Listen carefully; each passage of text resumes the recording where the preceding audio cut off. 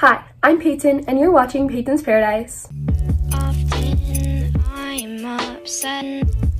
Today, I'm going to be showing you guys things you need to do at the start of the year to have a great year, be productive, and just start off on a good note.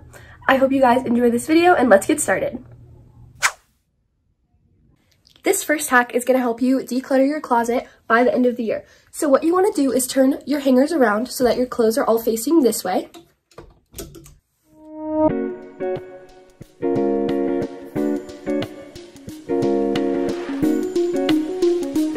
So now your closet will look like this. Every time you wear something and put it in the laundry, when you hang it up, you're going to turn it around this way. And at the end of the year, anything that's still facing out will be donated.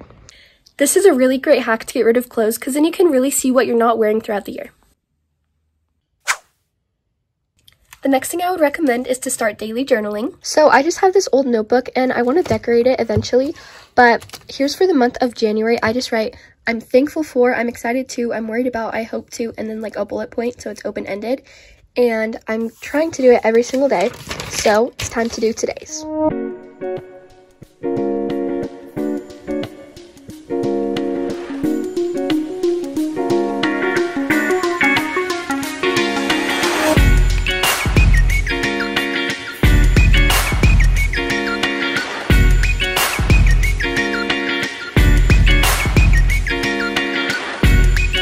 And that's it, just five sentences a day.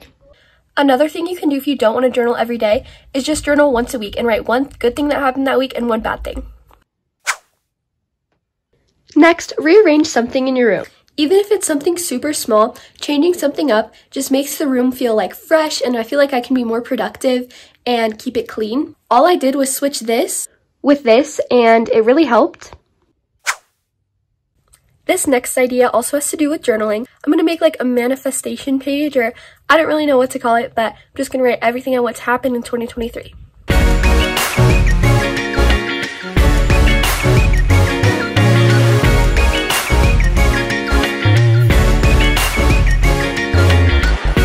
Okay, here's some of the things I wrote.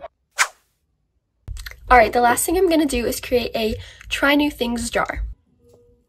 Okay, so I'm to fill it with a bunch of little notes of things that I've never done before. So first I'm to put bake croissants, which has always intimidated me.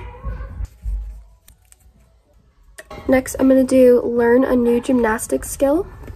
This is just really good for things that you've been wanting to do, but you just haven't got to yet. And this will really push you to do them.